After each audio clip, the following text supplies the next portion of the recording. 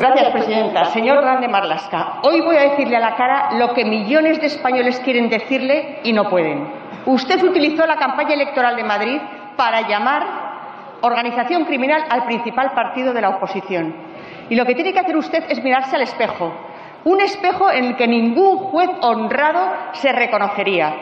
Un espejo en el que ningún juez honrado pediría a servidores públicos que se saltasen la ley.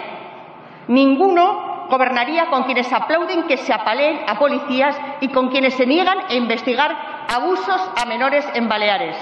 Ningún ministro con escrúpulos beneficiaría a etarras de forma masiva por contentar a Bildu, un partido que ampara a quienes nos hubieran asesinado a usted y a mí sin miramientos. Ningún hombre de honor preferiría entenderse con Otegui antes que con Casado, con un pistolero antes que con un demócrata. Señor Marlasca, quienes confiaron en usted hoy solo ven a Judas. Yo no soy jueza de carrera, pero sí tengo vergüenza y jamás llamaré al Partido Socialista organización criminal, pese a que algunos de sus miembros estén implicados en el mayor caso de corrupción de la historia de nuestro país, pese a que se gastaron el dinero de los parados en prostitutas y en cocaína.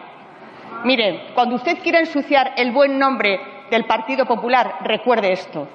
Hay más dignidad, valentía y amor por España en el más humilde de nuestros afiliados que en todo su gobierno. Y recuerde que habla del partido más grande de España, con 40 años de historia, integrado por hombres y mujeres que han defendido a los españoles, aun sabiendo que podía costarles un tiro en la frente. Señor Marlasca, si quiere usted también saber, recuerde que hoy somos el refugio de esos socialistas de raza hartos de que un gobierno como usted, como el suyo, venda a España por un plato de lentejas.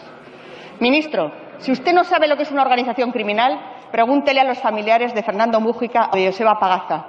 Ellos le explicarán lo que usted ha olvidado por ser ministro.